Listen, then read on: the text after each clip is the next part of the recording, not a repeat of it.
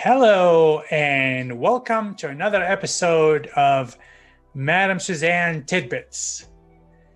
Today, I'm going to share with you an extensive story of the money I've made and lost over a 40 year period or 35. A little bit before I started the escort service business and during and after. I got to tell you, this is a very, very hard video for me to to uh, make because I'm currently dealing with uh, serious financial troubles compared to the lifestyle I've lived. And as I always said, it's it's it's one thing to go from here to the bottom and it's another thing to go from way up here to the bottom right? Uh, the fall is a lot ha- higher. The higher the fall the harder uh, you know the, the, the harder and the more it hurts okay? So before i started the escort service business i uh, used to be involved in other illegal activities and I would average anywhere at the height of my career in that from 85 to 90. Let's just say 95. Uh, I ended up averaging about 100, 150,000 a week in profits. And one thing I always had a weakness for is money management. I've never really managed my money or saved my money. I've always was under the impression that, uh, hey, listen, uh, I, I, made a whole ton of money. Uh, the faucet is open, the floodgates are open. It's never going to close. Now I know that to be so untrue.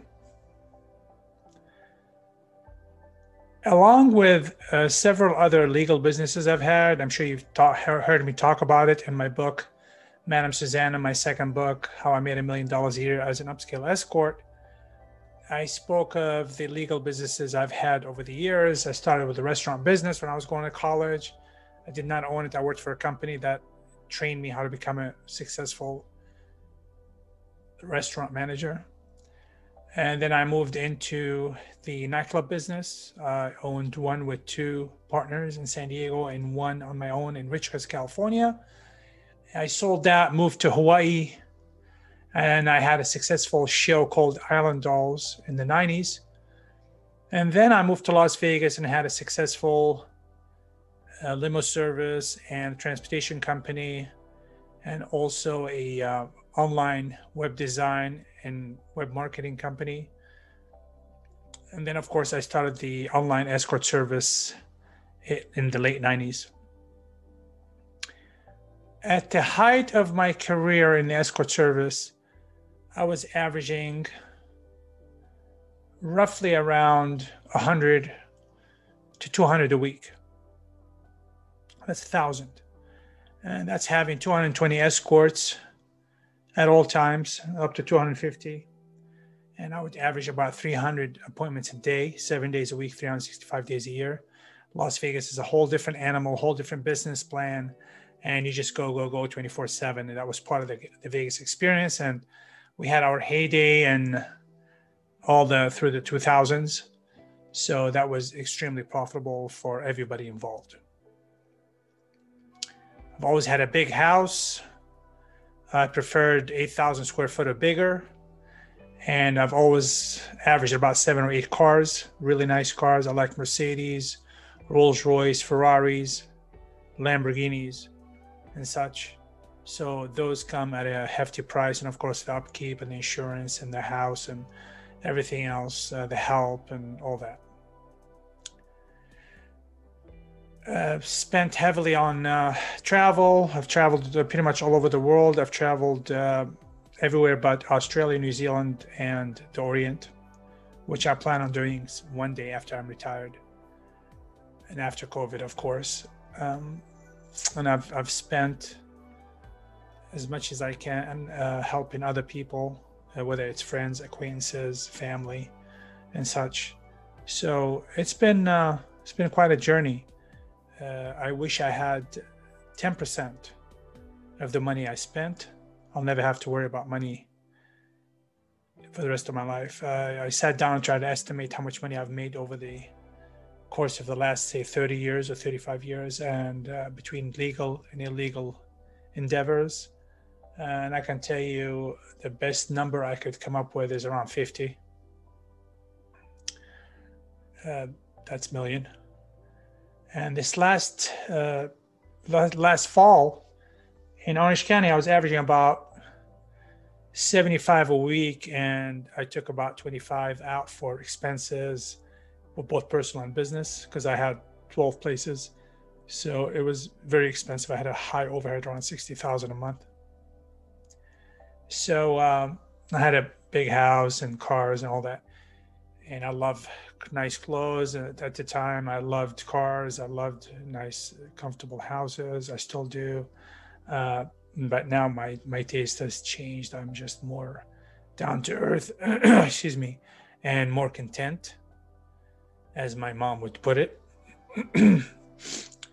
so um, the Orange County experience had definitely uh, put a big damper on me financially. Uh, the government kept around altogether about 10 million, which is pretty much all I had. Uh, like I said before, I've made a mistake of not taking care of phase two, which is what are you going to do with the cash once you have suitcases full of it?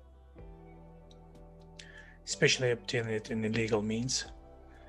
Uh, but I do believe in myself. I do believe that we live in the best country on earth to start over and take advantage of the obstacles I've been through. And listen, what doesn't kill you make you stronger. And I'm telling this to everybody that's lost everything or on the verge of collapse, especially with this COVID and people, a lot of people losing their businesses, their homes. I got to tell you, failure is not an option, man. Go watch my video about failure is not an option. Staying positive. All those motivational videos that I believe in, I live my life through. I do believe that anything is possible. There's no such thing as impossible because impossible is spelled I am possible. And I do believe that I will make a comeback. I may not be as well off but it doesn't matter because all you need is just a little bit of money and you can live happily. Money does not make you happy, does not help you be happy. Money make things a lot more comfortable for sure, a little less stressful, a lot easier. However, money does not buy you happiness. Take it from me, 100%. So I did lose a lot of money, but I had a lot of fun. There's no regrets. You play, you pay and that's just the way the cookie crumbles, right? So, once again, this was a, a very rough video for me to even admit to or make because it hurts, especially nowadays, uh, the way I'm living. However, uh, I've always told you I'll be honest and forthcoming, full disclosure.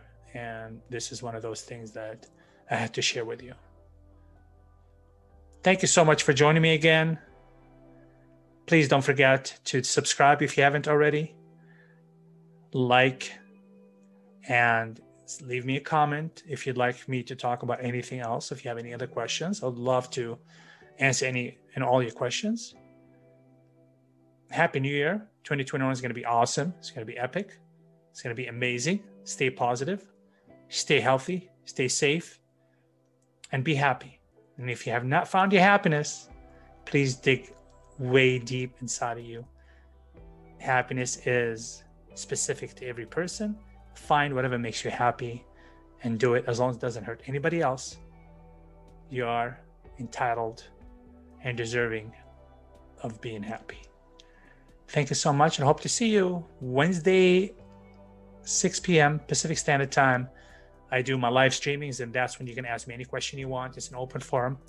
I usually have a subject lined up, And if you have any any type of um, suggestions for any video or subjects or anything like that or questions, please do so.